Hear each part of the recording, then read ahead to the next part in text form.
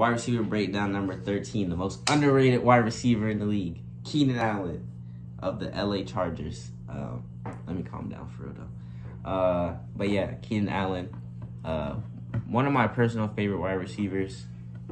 Runs, I think he runs the best routes in the league, hands down. He's always getting open. He's always consistent guy. No matter the quarterback he's had with the Chargers, he's been consistent in getting his numbers.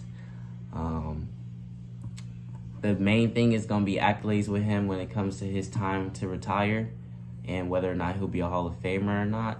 Um, I think he has the potential for sure. I think it's like I said, it's really gonna come down to accolades. He's got the Pro Bowls, he's got the All Pro selections. No rings though, and that's not a true testament to how he's played overall in his career.